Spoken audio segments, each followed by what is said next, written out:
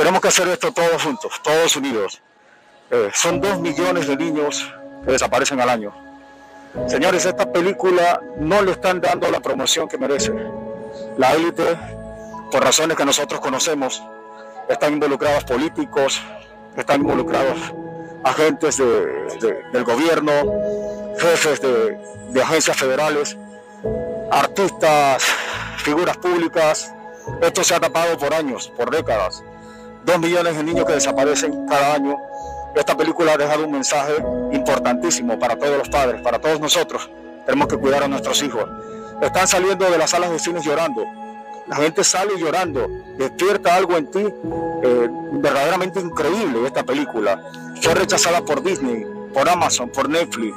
Son los estudios cinematográficos de más alto nivel y los más reconocidos. Pero la película está siendo un éxito hoy en día, gracias a nosotros que estamos regando la voz.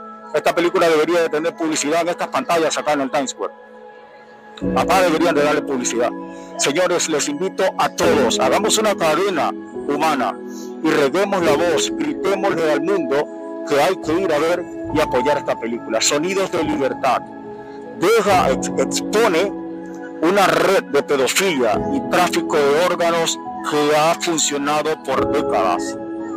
Mi gente, vamos todos a ver Sonidos de Libertad. Nos quedamos en el Times Square para hacer unas entrevistas y preguntarle a la gente si no la ha ido a ver, les invitamos a...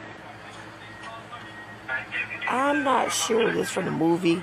Cause somebody let me know it's from the Sound of Freedom. Cause it don't look like this look like real events.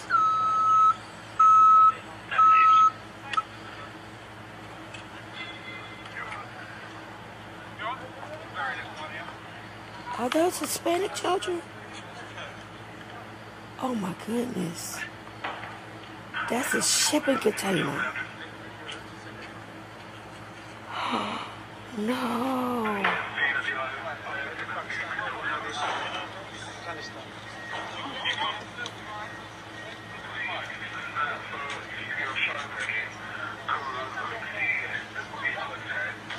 Oh Oh my goodness, s'more.